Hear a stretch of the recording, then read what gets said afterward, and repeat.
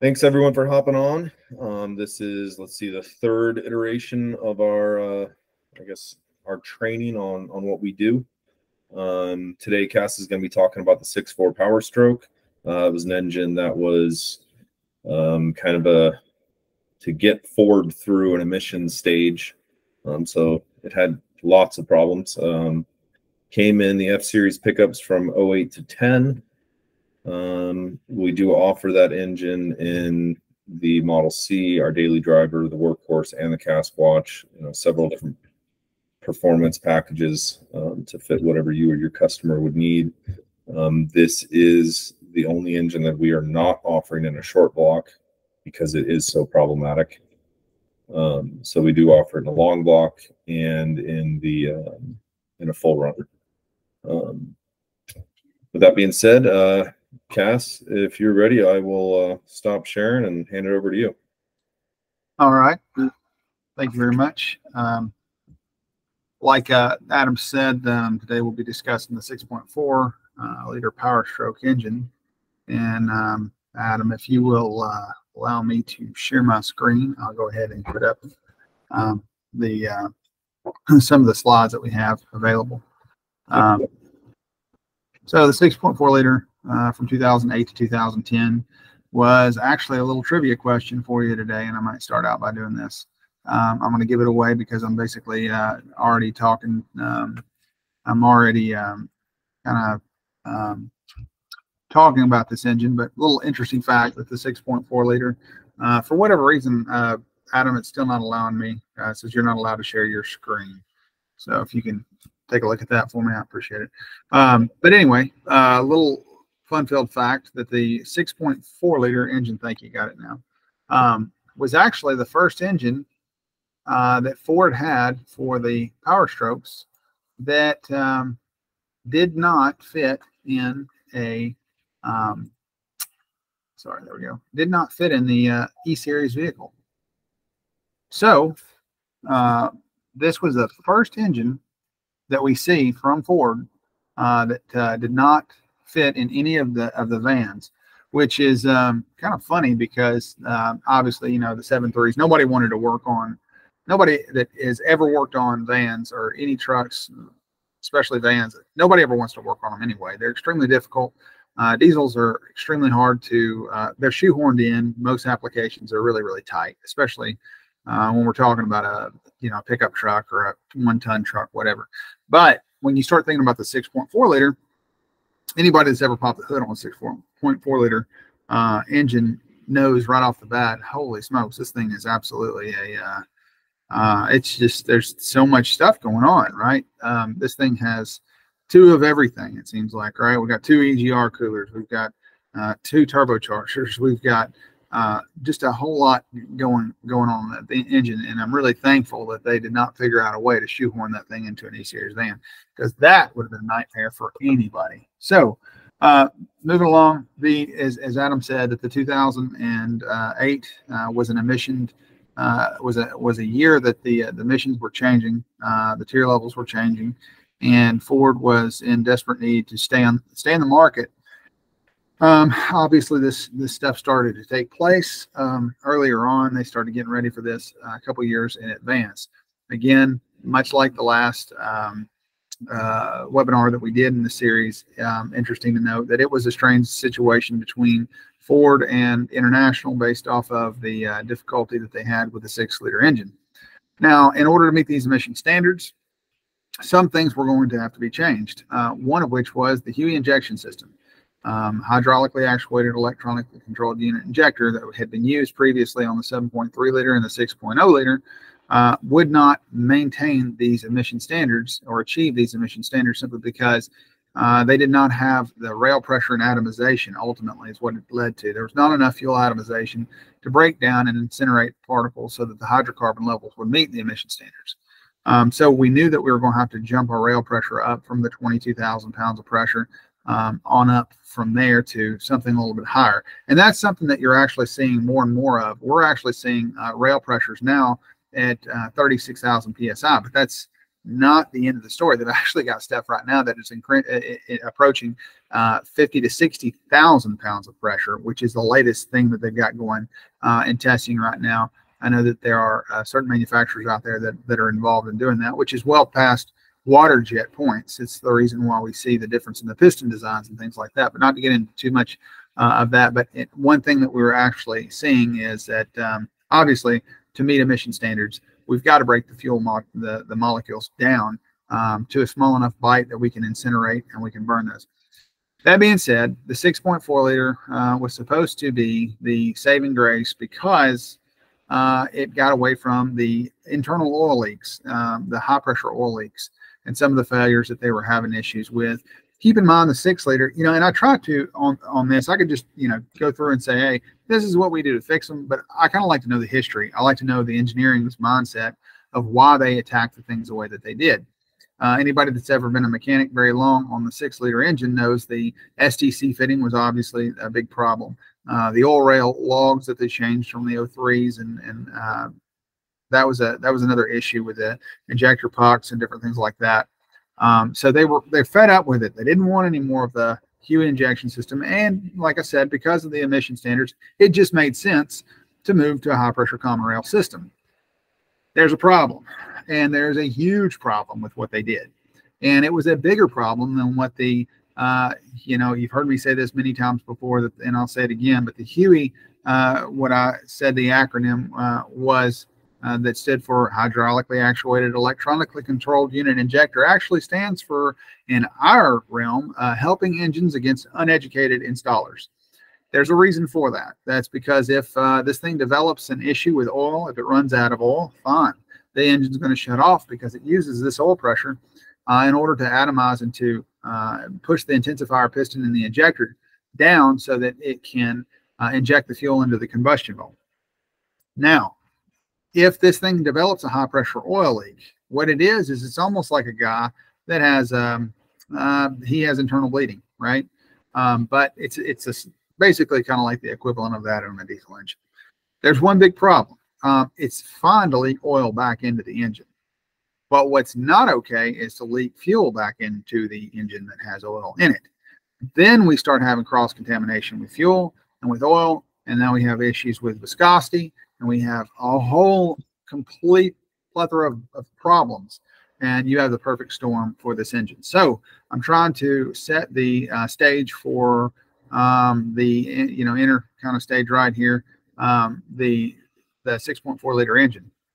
On top of the 6.4 liter engine, uh, there's a few developments that have taken place. Now we're going to experiment. Why not, right?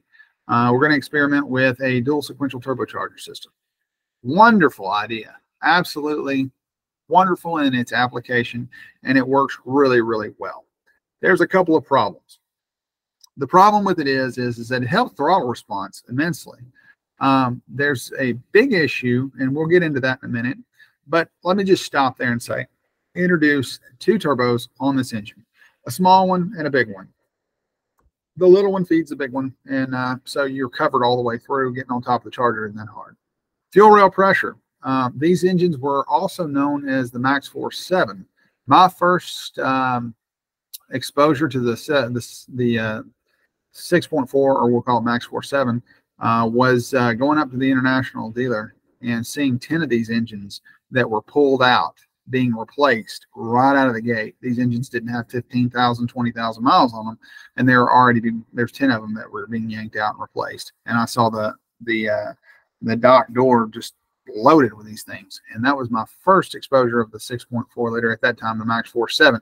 I'm saying MaxxForce 7 because that's International's iteration of the uh, same engine. Now, there's quite a few differences. I get this question asked a lot. Can you take a MaxxForce 7 and drop it in a 6.4 liter? Will it work? Absolutely not. Um, there are things that will work about it, like the uh, short block itself. Yes, that will work. Upper lower oil pans are different. Um, the heads actually are completely different. The blocks, in some ways, are will not work because, um, and I say will not. I know that sounds like I'm jumping back and forth, but there's a couple of different iterations of the MaxxForce 7. So the MaxxForce 7 actually used a lot larger um, oil cooler, much larger oil cooler, because they didn't use a dual sequential turbocharger. They had some room in the valley and they put and they used that well. It's almost as though the International designed an engine in spite of, uh, well, uh, a little bit uh, of spite towards Ford when they did this. It's almost like they they knew it. And the reason why is because Ford's engineers got involved uh, with this program instead of International being uh, trusted. They were actually getting involved. Now, Ford had at that time, up to that point, had really no place in the diesel market, uh, at least as it's concerning the pickup trucks as we know today. So they built it the way that Ford said to build it. They did not build their engines the way that Ford said to build them, uh, which is interesting because um, while they are very problematic, they are not as problematic as is the 6.4 liter. All right, without further ado, uh, we're going to go ahead and jump into some of the problems. Well, here we have a knucklehead that's sticking his head down the exhaust pipe. We know that's a terrible thing. And you, you know, the black smoke, it's diesel fuel that uh, it's power that you can see, but you can't use kind of thing, right? So 20 to 1 typically is when we start seeing uh, black soot and stuff coming out of the tailpipe as far as air, air fuel ratio. Um, there's a big issue though with the 6.4 liter because the emission standard, somebody had the brilliant idea uh, to be able to meet the emission standards. Something was done that had never been done before. What was done was this: a diesel particulate filter was installed into the uh, exhaust of the engine. Now, on top of that, there were also not one but two EGR coolers. This EGR cooler was actually used and uh, it was actually chilled by coolant early on. Um, and that's the reason why the Job 1 trucks, the 2008, you'll see that there's a coolant line that's going from the um, uh, reservoir to um, the EGR valve. And they're trying to cool this valve because they thought, okay, by doing so, maybe we can keep the coking down and different things like that. They actually went the wrong way with it. Um, if you'll note there, it's quite differently uh, placed on the 6.7s. So they put it on the hot side of the charger instead of uh, the cold side of the intake. Um, there were some differences in the way that they mount uh, the EGR valves. So that being said, the the absolute worst thing they could have possibly done to this engine, they did. They, I don't think if there were uh, mistakes that had could could have been made on this engine, uh, if they were you know kind of proverbial like the the the potholes in the road, I don't think Ford missed one of them, and if they did, they threw it in reverse and they uh, floored it and went back, made sure they hit them again, because this thing is just absolutely riddled with problems. Um, it's not a hard thing to talk about the 6.4 liter problems and look for things to talk about. This is probably the engine that has absolutely the most, uh, the the most content of any engine platform ever. So let's explain to you why it was such a bad idea that the emission system on this truck worked the way that it did. And it has since never been used again.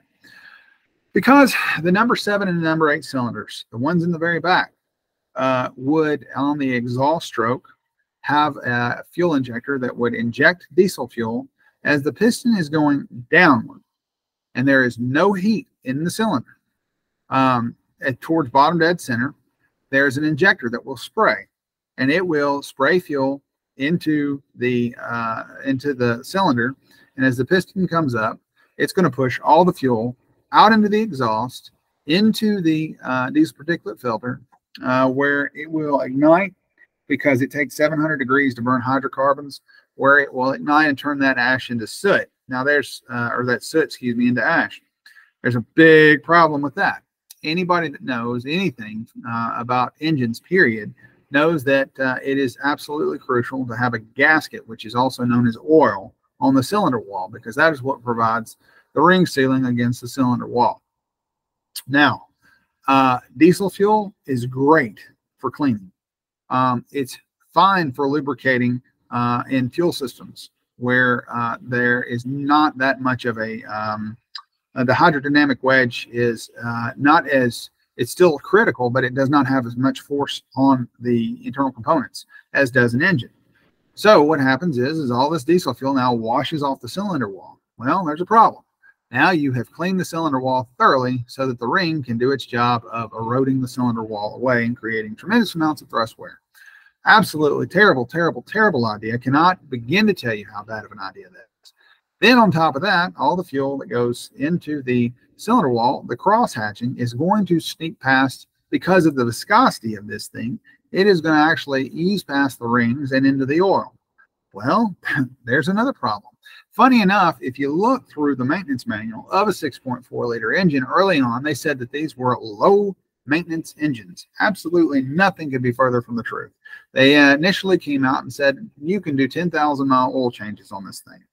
Um, and I wish that I had that thought about that earlier. I would have uh, actually snapped that out of the uh, snapshot out of the Ford maintenance manual. They quickly uh, pulled that down uh, as they were having failures left and right. I mean, they jumped out of the, the proverbial fire, uh, frying pan into the fire on this engine. They thought the six liter was bad. The six liter wasn't a patch to this thing. So all the fuel gets into the oil, and when it gets into the oil, guess where it goes? Ah, you've guessed it. It goes right into uh, now into the bearings uh, that no longer can be supported because the oil does not have the ability to support because the hydrodynamic wedge is breaking down because, like I said, loss of viscosity, the centistoke level drops. It's just, a, it's nasty. It's just a bad, bad idea. So that was the original problem with emission systems and that. Now, uh, I really wished, okay, good. It's a very blurred uh, picture here.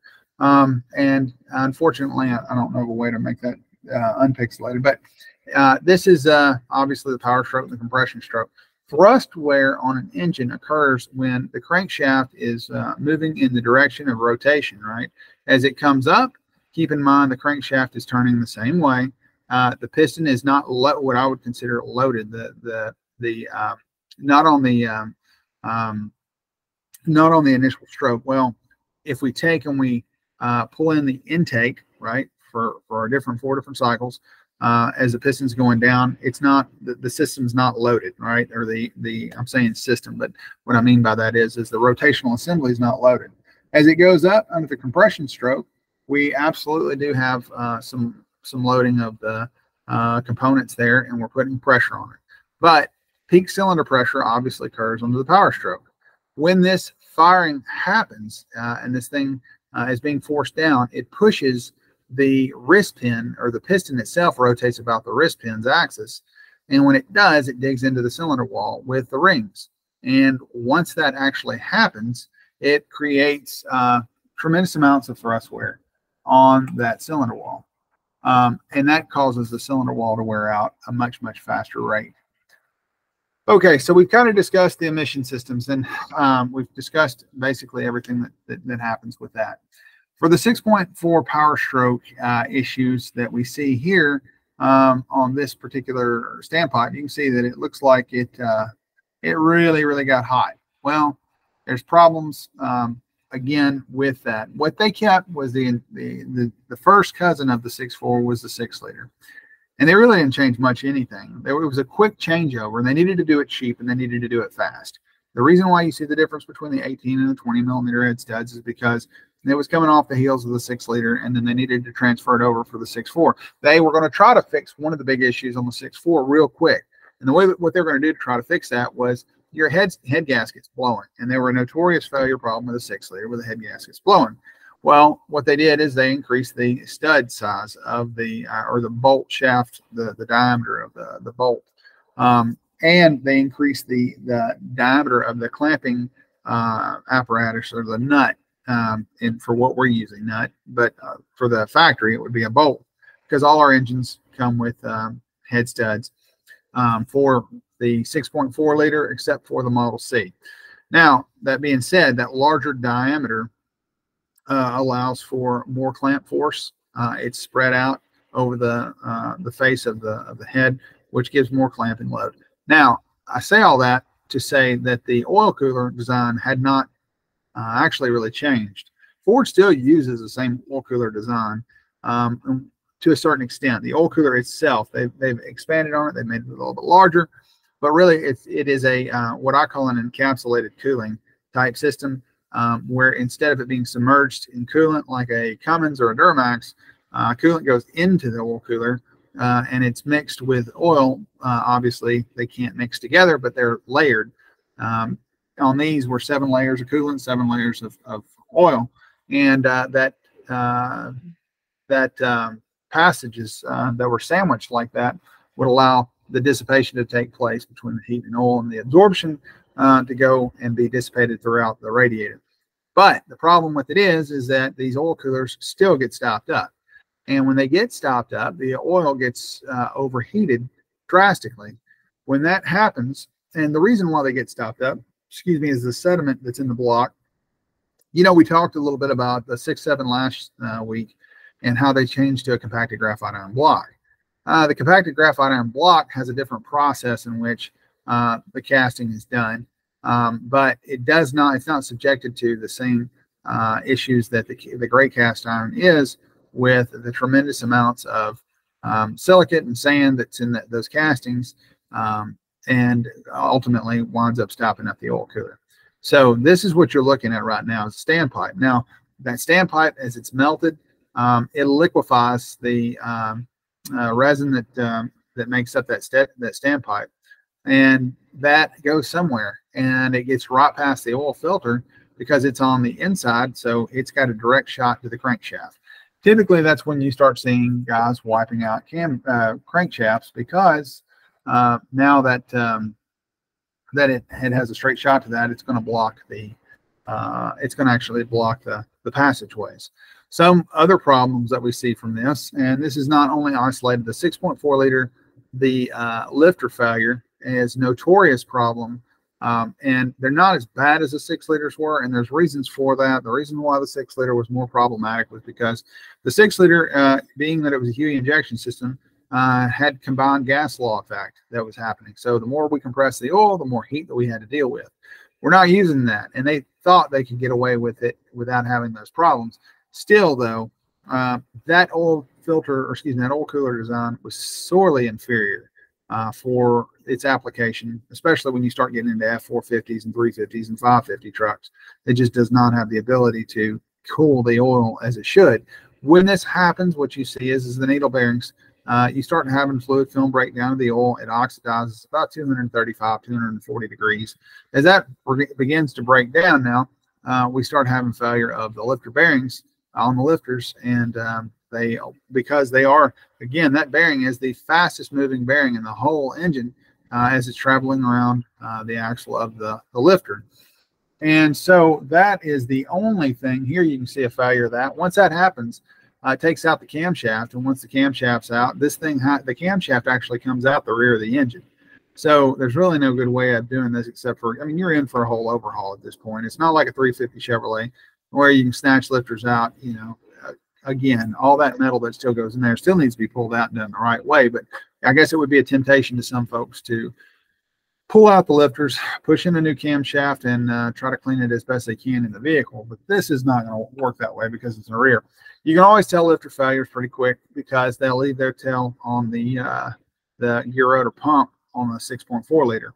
You can see the indentations uh, right there by the thumb. You can see that that's the needle bearings that pass through uh, the the pickup tube. Now that's the only bearing that's small enough that will actually pass through the grid of the pickup tube, and that will take out the oil pump as well. So we talked a little bit about fuel dilution based off of the um, uh, emission systems. Now there's a couple of other problems with fuel dilution, and we really find find this and fight this um, with new installs.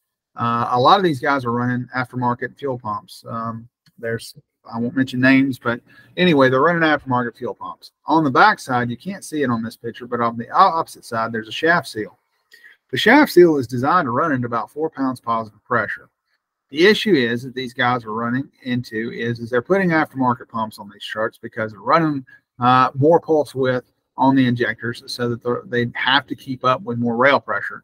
Um, and that pump cannot, the factory pump can't maintain enough fuel pressure to the, the lift pump can't maintain enough fuel, uh, fuel pressure to the high pressure uh, pump that you're seeing here. And so they put these pumps on, but the pumps can run all the way up to 12, 15 pounds of pressure. That's more pressure than what the seal was designed to maintain. And it actually can cause that, that uh, uh, seal on the backside to start to leak. When that takes place, the fuel is going into the crankcase. So now we have just absolutely all kind of issues. You're talking about main uh, main bearing failures left and right on these things because fuel is not uh, a supplement for oil. It will not uh, provide the necessary uh, wedge that is needed for the crankshaft and the bearing. If they come in contact at any time, uh, then it's going to be metal to metal. All it takes for aluminum, because generally you have copper, tin, and lead, uh, and I say aluminum, but copper, tin, and lead on a bearing. Um, the melting point of that bearing uh, is approached very, very rapidly if there is no uh, oil to um, to maintain that that separation between the two, and it happens. I mean, within uh, within seconds. And then once that takes place, the bearings are spun, and, and it's a bad day for everybody. One of the things, though, also uh, in this picture is an injector line between the injector and the pump. This is a this is a, a, fuel line that must be replaced anytime the engine is installed. It has a uh, compression fitting that mates to the injector on one side and on the other side the high pressure common rail. Um, so the rail and the injector have a line that is a throwaway line. It's disposable. You're not to reuse this. Anytime you open that line uh, and you remove the line, um, it's almost like fingerprints. They have to go back exactly the same way that they are uh, designed uh, to um, uh, to mate together, and you can't really and truly duplicate that exactly um, every time. So if for any reason that line has to be taken loose, it has to be replaced. It is expensive. Those lines are typically around $30 from Ford. Uh, and a lot of guys don't want to do that. So instead of doing that, what they tend to do is, is reuse them, clean them up, and say, well, it was only on for you know 20 minutes or whatever. It doesn't really matter what the length of time um, that the line was on. That has nothing to do with it. It has everything to do with it uh, concerning the crimping that takes place and the uh, basically the the uh, the uh, impression that's left on the line uh, from the mating surfaces. So that can create fuel leaks. They go again. These are all big, big issues. Now we knew about six seven last week. We talked about it. One thing that Ford did was in their 6.7 liter, they were quick to change that fuel line and move it to the outside of the uh, of the engine, so that if it did develop a leak, that it would be external. And it's a whole lot easier to fix an external leak. One, you can see it. Two, it doesn't do damage to the engine. So it's far more uh, profitable to have that thing on the outside of the engine. Now, LLY and LB7, the, the, the injector issue on the Duramaxes, they quickly remedied the problem they were having. Obviously, they were having injector failures and they needed it to be more serviceable. But with that, they also moved those injector lines outside. On top of that, there's a white O-ring right, uh, let's see, right here on the injector. I don't know. Um, actually, Adam, you got control. You can see it now. That injector, if that injector O-ring leaks, now there's a little difference between the injector and on the 6.4 and the 6.0. Well, there's a lot of difference. One is is the uh, the little line that you see, uh, the injector O-ring that you see that uh, with the cursor on it below um, is actually uh, a weak hole for the return line. So in the cylinder head, uh, it's different than a 6.4. The 6.4 would supply the fuel into this through the cylinder head, so you have 55, 60 pounds of pressure going through. That's not the case on the 6.4 liter. The 6.4 liter has nothing but the return fuel side coming out of the cylinder head. All the rail pressure, all the fuel pressure going to the injector is supplied through the fitting that you see that the injector line would uh, screw onto. So if that though, if that injector O-ring gets cut for whatever reason, uh, or it leaks, again, we can expect fuel to be into uh, the crankcase and cause its damage there. That is one reason why we are very um, we are uh, very um, um, pro uh, a certain procedure of installation, and that procedure would actually uh, include turning the high pressure, or excuse me, turning the low pressure fuel pump on with the oil pan bolt uh, removed. And when we do this, we always tell people, please take the uh, dipstick and put it on top of the, the steering somewhere, just so that you'll know this engine does not have oil in it. Don't try to start it up that way. Uh, but if you'll turn the, the, the lift pump on uh, with the um, nut, or the, excuse me, with the uh, drain pan bolt out, and leave it running for 30 minutes. If there is any leaks that develop um, on the low pressure side, that will allow us to see, and on the return side, that will allow us to see that that's happening and it's draining outside of the uh, lower oil pan, and we can catch it before any damage occurs. So it's very critical to install these the right way. Now we talked about spun main bearings. Main bearings are definitely a problem on these things. Uh, you can see here where uh, this thing was uh, it, it got it was spun really really bad. You can actually see the shading on all the way around. There's a lot of reasons for spinning main bearings, but primarily uh, the biggest portion of spinning main bearings is because of fuel dilution. Nine times out of ten, uh, fuel dilution is the biggest problem there. And so, uh, if you can combat this by uh, proper installation techniques and also by monitoring, you know, the problem with a 6.4 liter engine is they make tons and tons of power. With the tons and tons of power that they do make, uh, there is the temptation to tune these things beyond the capability of the internal components. Now, that being said, um, what what we'll get into that. We'll show some of the damages that take place. But the 6.4 liter really could be a fantastic engine. It really just needs to be owned by two people. One's an old man, the other's a mechanic. But other than that, um, here are some of the performance mods that we do for the um, for those engines. Now, if you look in the top left corner, you can see the factory dowel. Now, here's what happens. Um, at the top left corner, there and the bottom corner, uh, there that is the dowel pin that actually locates that bed plate. Now, there's a lot of guys out there would tell you bed plate's the best thing in the world. It's, I mean, that that thing's, you know, you don't need anything else. That bed plate is far superior than main caps, and I would be, uh, I certainly agree with you. I can't argue the point there. That, but the problem with it is, is that a lot of people do not realize that the bed plate is only as good as its ability to be indicated uh, or its repeatability in the installation process. And also, um, the fact is, is that if the surface finish is not um, uh, correct when this thing was mated together, it really doesn't make a whole lot of difference whether you've got a bed plate there or not, because the bed plate will actually move a little bit. And on this particular application, you can see that uh, these dowel pins that we're locating uh, the bed plate now, we've got 10 of them. So you see the four main cap bolts, but there's two on either side. So this thing is very, very rigid. Once it's pushed back onto the block and it's bolted down, it can be repeatable and go right back to the same place. What happens is those pins on the top left and the bottom left corner, they tend to wear in their bore. So because there's so much fretting that takes place, there's a tremendous amount of movement in the bed plate when this thing is actually going down the road, especially if guys are putting more uh, uh, power to the truck, larger tires, that that bed plate wants to skid. And as it does, and it wears the the, uh, the bores out in those pins, um, what you'll typically see is a misalignment of the bed plate to the block. And the only way, really and truly, to correct that the right way is to repin it and uh, find that location of center and make sure that it stays that way. Um, we, on the performance side of things, uh, will uh, install these pins and we don't have any issue with them going anywhere. So, but again, the surface finish of that block was uh, far um, inferior. Um, and there, it doesn't really matter how tight you torque something if you don't have two flat surfaces, just like a head gasket. If you don't have two flat surfaces and you go to torque it, then typically what's going to happen is you're going to blow a head gasket. Now, uh, we talked about spun mains. Now, here's another, uh, here's another reason for spun mains. You're going to get this a lot, especially the sales team and the guys out there. You're going to have guys, and you need to ask them this question, okay? Because people don't know anything, and they're calling you because they need your help and they expect for you to know this stuff. So it's extremely important.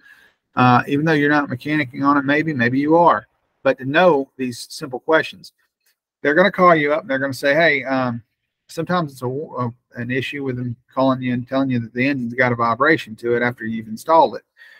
Now, our engines are balanced. All the daily driver, the workhorse, the cask watch, all that stuff balanced. It comes with a whole balance sheet and all the stuff that goes with it. So these engines should be so so balanced um, that that typically we the phone calls that we get back are from customers um, when they we call to comment on just how smooth that engine operates. If it's not operating as smoothly as as that, so that it's noticeably different, and there isn't a there's some sort of vibration in this engine, there's something else going on with it. Um, and typically it can be one of two things. One is it's an aftermarket converter or it's a converter that's out of balance. If that's the case, that's not going to ever get better. It needs to be addressed. And there are companies out there that I will not mention, but they have large triple discs and, well, quadruple disc converters and five disc converters. Uh, and those converters will actually, they don't do a very good job at balancing. Um, and because of that, uh, that will cause a shimmy and a shake in the back end of this thing. Now, that being said, the thing that you do need to know about is that the 6.4 liter and the 6.0 liter both use a 5R 110W transmission. That is the same transmission. It is, uh, there's a later uh, version of it and that starts with a seven or an eight. All the uh, 6.4 liter power stroke uh, part numbers would typically start with a seven or an eight, whereas the six liters would start with, you know, three, uh, four, five, uh, is typically what you know what you'll see because of the, the year model. Now, the difference is is that you'll see here there are two weights uh, that we see on that flywheel. Now, there's also eight bolts on the flex plate. What guys will do is they'll go to the junkyard and they'll buy a 5R110 transmission. They will bolt that thing up out of a six liter and they will stick it right up there and they go, Yep, well, I got a problem.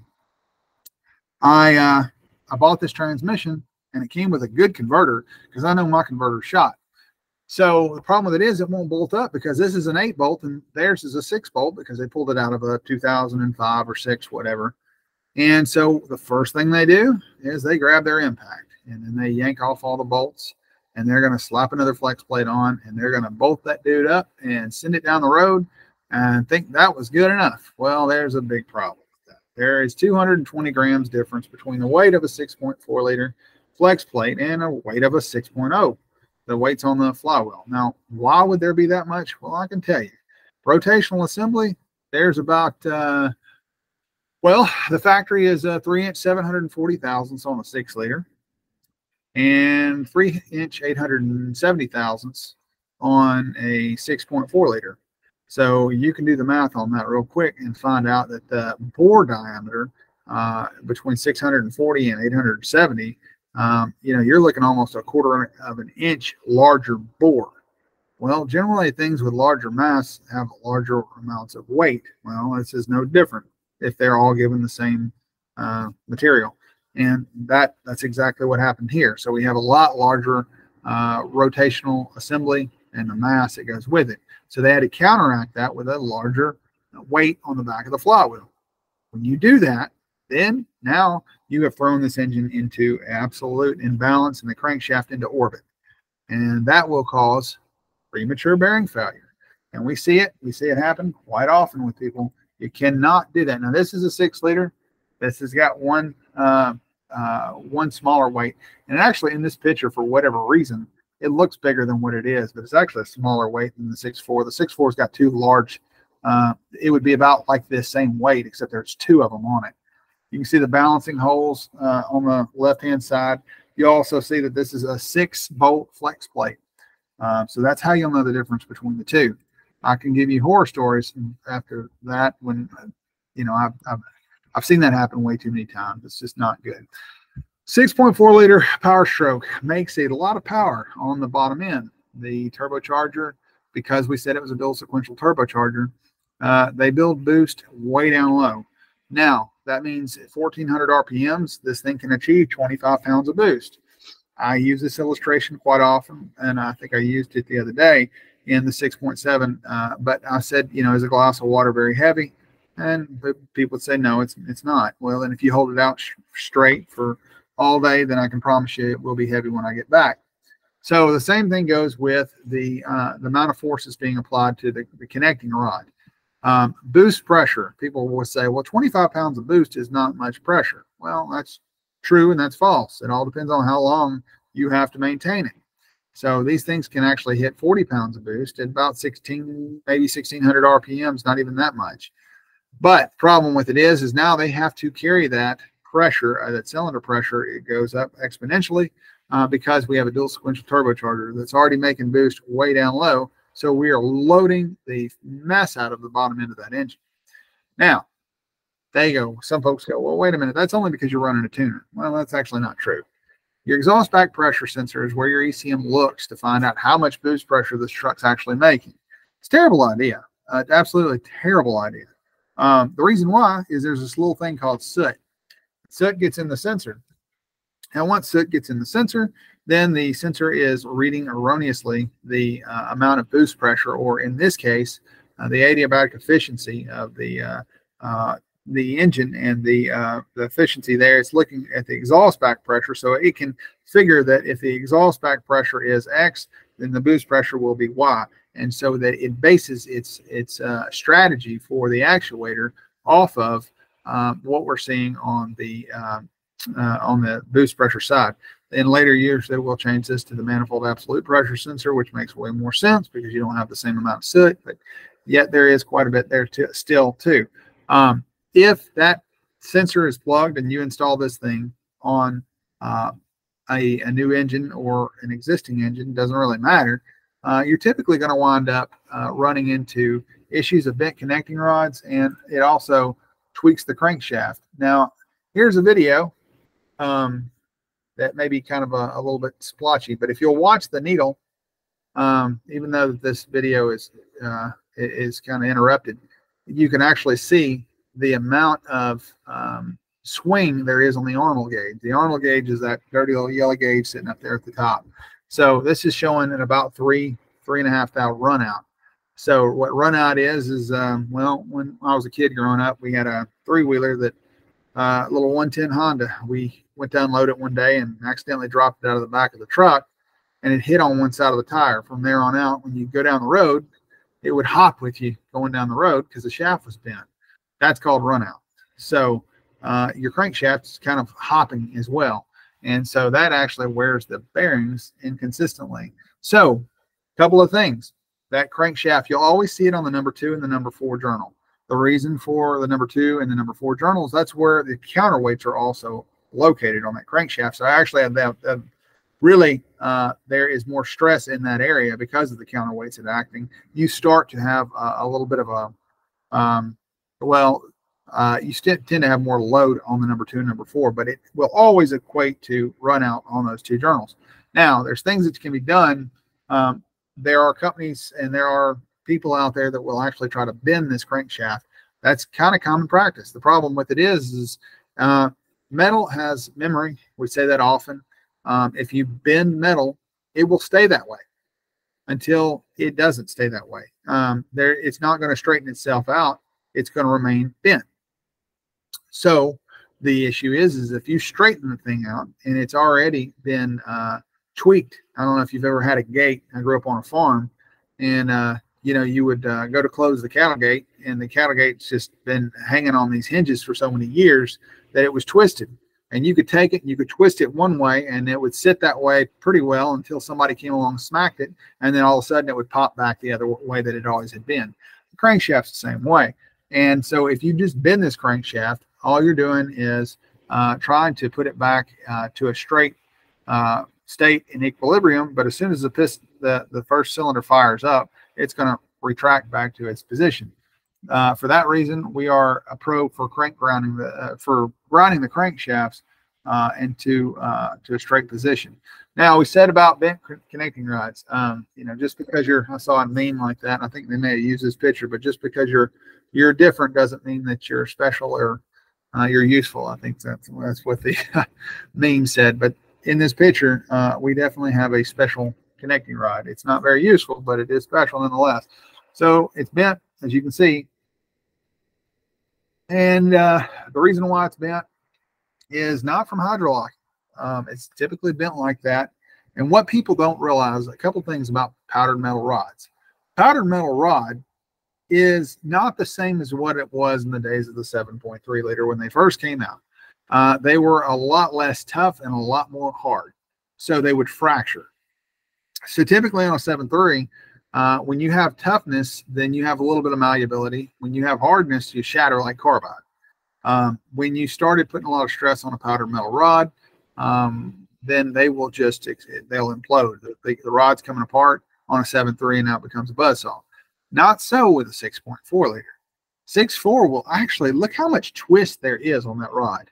I mean, that's that's pretty remarkable. That thing's like a rubber band. You know, if you tried to do that with like I say, a 7.3 liter, it never would do that. That powder metal rod would just snap in half.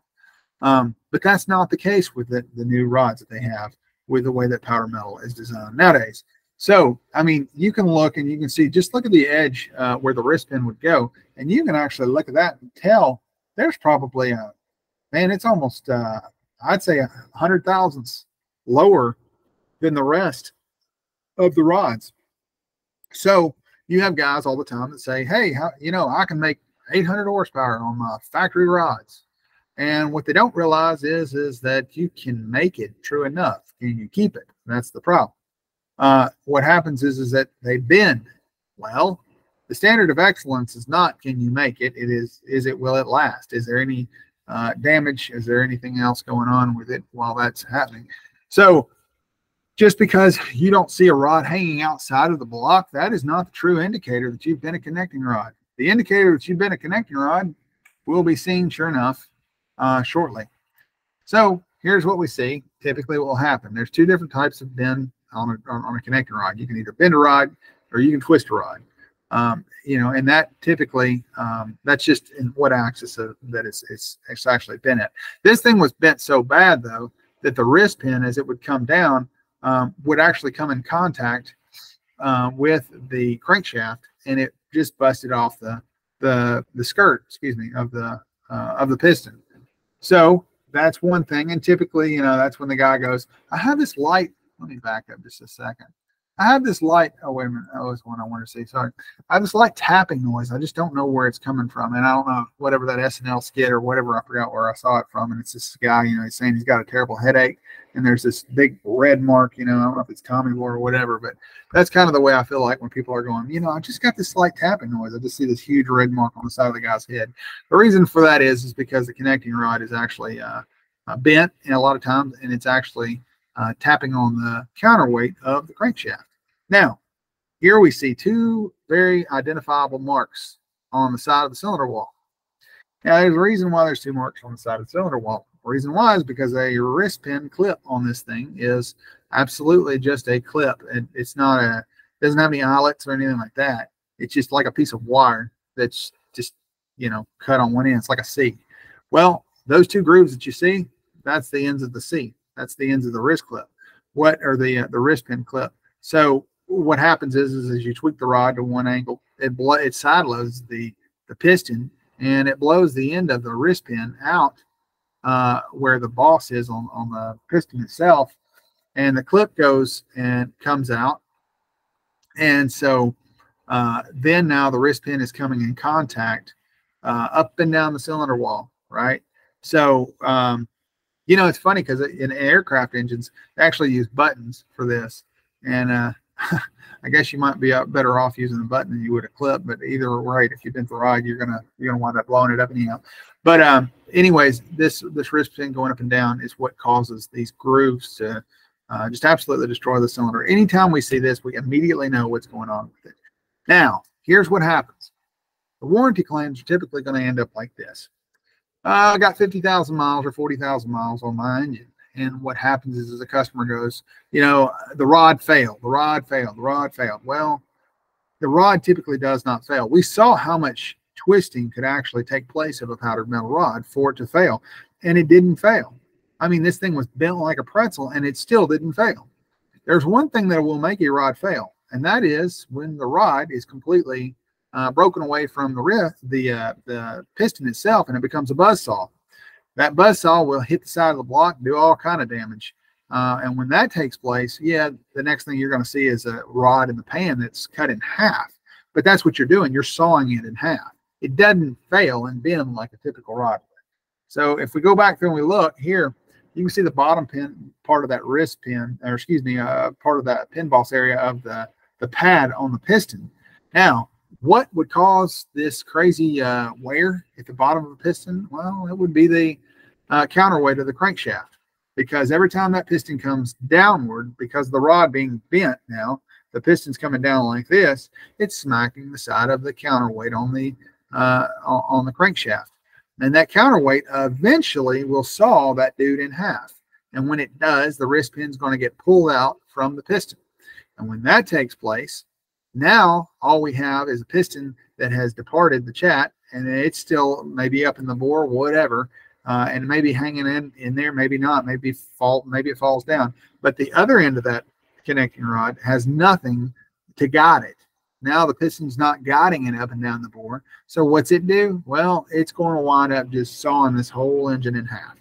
And that's exactly what happens. And that's the reason why people don't understand. And it all started from a bent connecting rod that you didn't know was bent. So that's a big, big problem there. So you can see this one, if it hadn't been stopped, it was just moments from uh, catastrophic failure.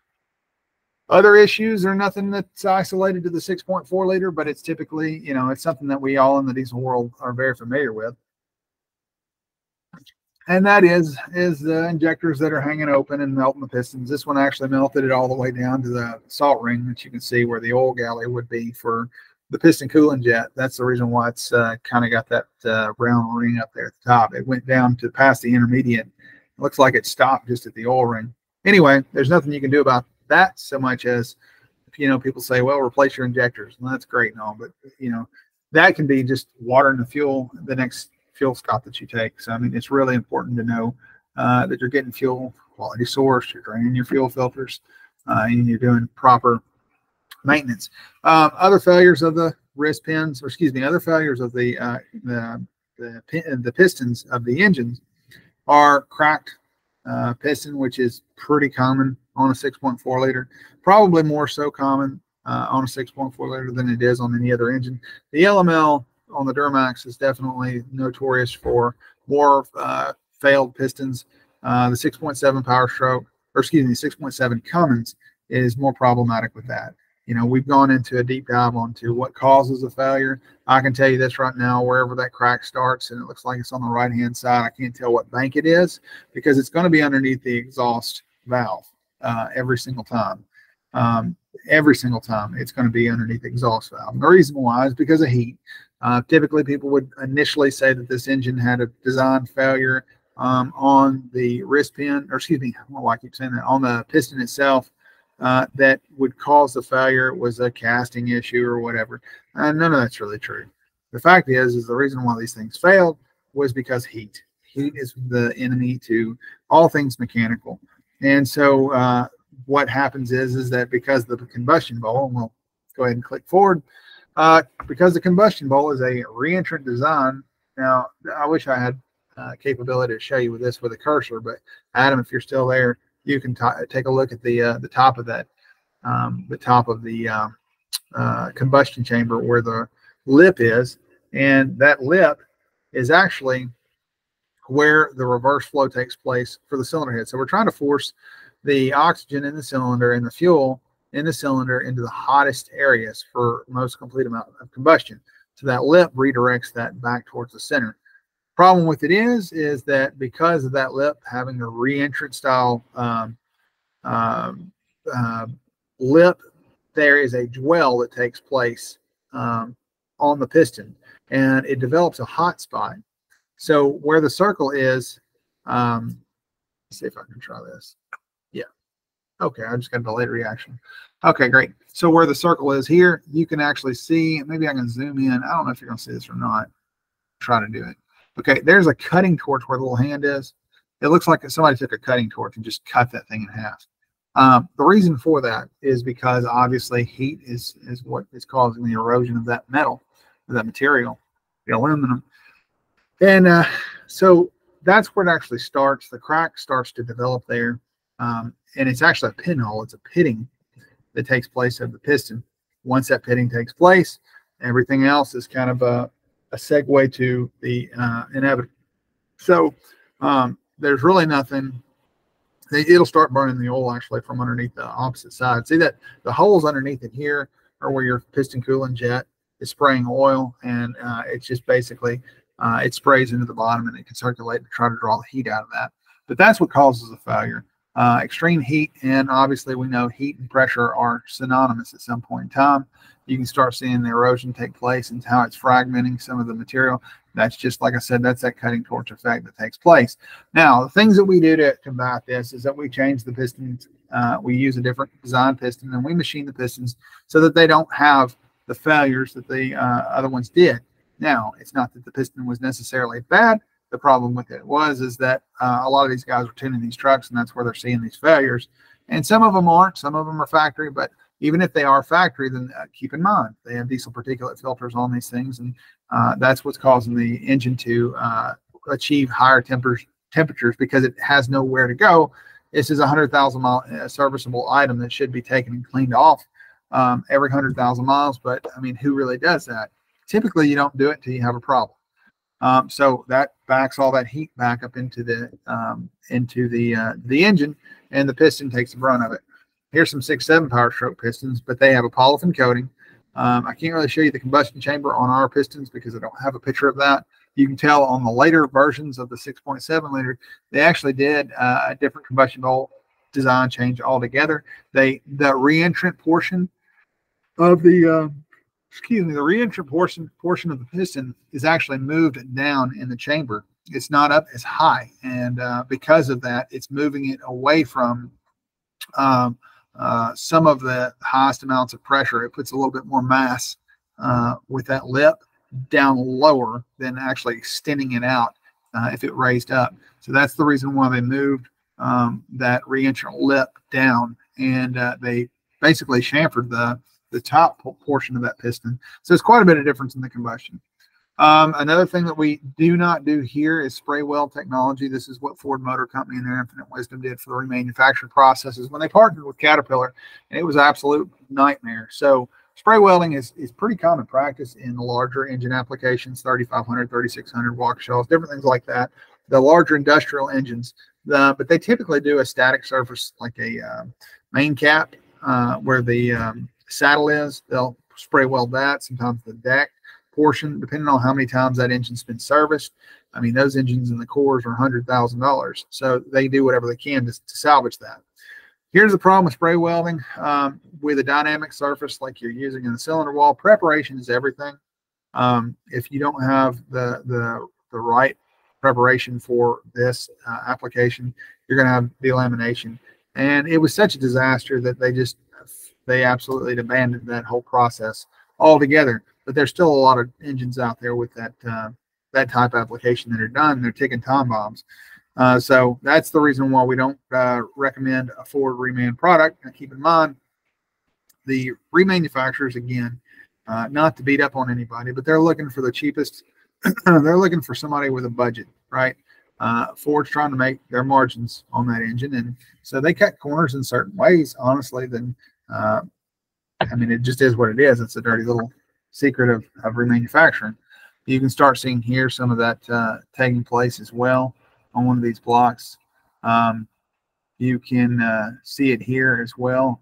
Uh, you start seeing a, a, glazing, almost looks like somebody left coolant in the cylinder, uh, but that's actually not the case here. This is uh, uh, actually from that starting to delaminate. Now, what we use, these pictures are a little bit out of order. This is a flange sleeve. This is actually, uh, the flange sleeve is quite a bit different than a straight wall sleeve.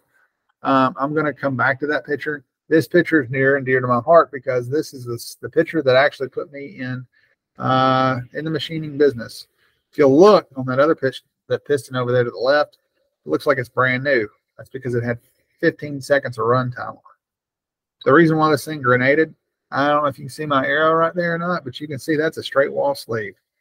And the machine shop that we used years ago when I was a technician uh, installed eight of these straight wall sleeves because they had uh, the spray weld done to them. And I told them I did not want him to uh, to use this block uh, with that spray weld on it because I already knew what it would do. So let's go ahead and sleeve it and fix it right for the customer.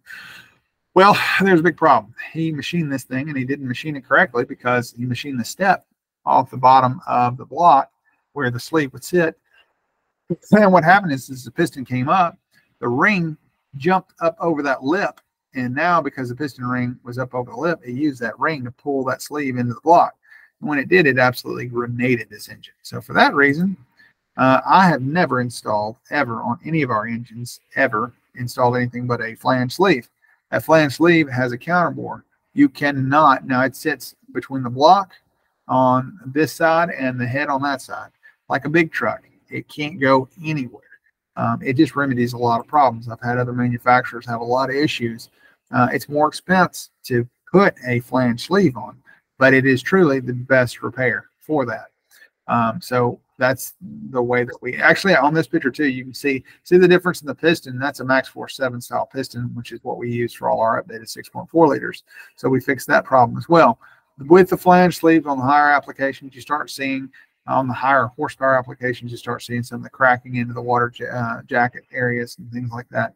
By us flange uh, using the flange sleeves, that remedies those problems as well. So we have there's a method to the madness. There's reasons for this. We use different castings um, uh, for the most part on these things. This is actually an integrated seat. It's a parent metal seat. So the seat is actually part of the casting on the head.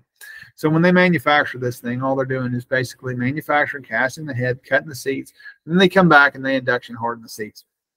So uh, if a crack develops, then it will continue to spread. You can see that this has been magnetically particle uh, magnetic particle inspection here, and they uh, you see where the cracks are. They've highlighted in with a white paint pen. It's very problematic. You start seeing it, you know, it develops the seat and then goes all the way to the glow plug, or it goes all the way to the injector, and that's more problem.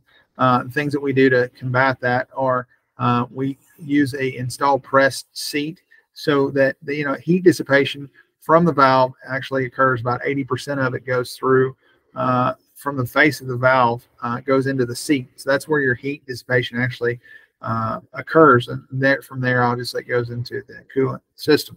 Uh, so it's important to have a much more durable material uh, there, not just for the wear of the, the seat itself, but also for the cracking. That's again another way that we remedy the problems that we have.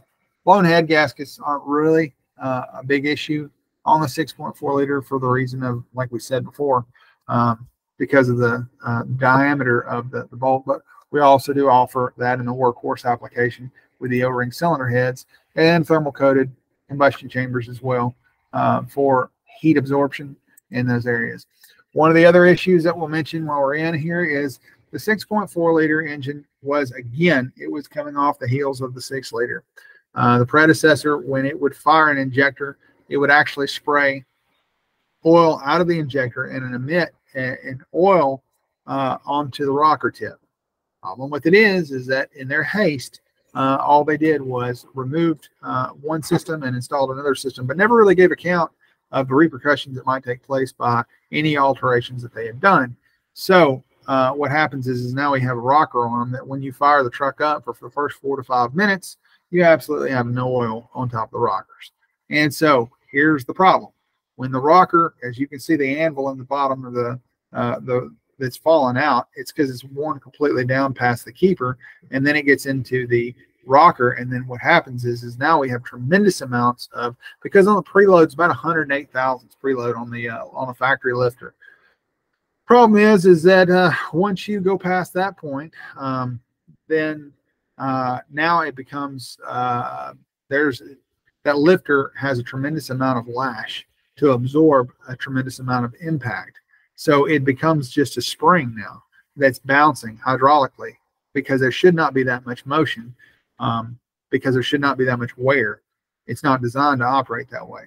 So once this takes place, it destroys not only the rocker, you run it long enough, it'll destroy the lifter too because it sends a harmonic basically um, down through the um, down into the, the, the the lifter from the push rod in the rocker arm and that is is is detrimental to the longevity of the lifter. And again, once the lifter goes, then it takes everything with it. So it might seem like a small thing, and, and all our engines come with new rocker assemblies. We don't reuse any rocker assemblies because that's a wear item, especially on this engine. Now on a 6.0 liter or a 6.7 or a 7.3, not it's not a problem. You could reuse and qualify the part, but you can't do that on the 6.4 because they're all worn. Now, that being said, that's a big problem. It, though it might look like a small problem, it's a very large problem because that in and of itself, by not having the oil up there, can cause engine failure. And so for that reason, we uh, came out and designed the 6.4 oiling valve covers. You can see the fitting up here at the top. Uh, we've changed. It's a that's an old design that we have, but anyway, still works the same way. And so uh, that valve cover actually sprays oil onto the rocker arms, uh, and you can see that here. So this uh, this whole this uh, these jets spray and actually changes by 10 decibels uh, the noise of the engine. So it quietens it, muffles it down quite a bit. Also takes away, you know, some of the heat of the the the valve springs. It's not that big of a problem with those engines, but nonetheless, we also see temperatures of about five degrees or more on the oil temperature drop as well because of the heat dissipation properties of the aluminum and the oil that's going through there. It passes the heat into the valve cover, and the valve cover has a fan blowing over it, so uh, it works out really, really well that way. So those are some of the things um, that the 6.4 liter engine has wrong with it. Uh, I guess uh, that's uh, pretty much it. Um, we could spend even more time if we wanted to and get a little deeper in it. But I think that pretty much, uh, for the most part and for today's purposes, should equip you with what you need to know when you're talking to a customer about that engine. All right, about this time, I'm going to turn it back over to you, Adam. Thanks, Cass. Let's see if I can. I'm going to share my screen here real quick. Um, uh, only thing I had, I did want to show that video. I don't know what happened on your screen there. I apologize. Um, but you can really see the run out pretty easily on that video. Um,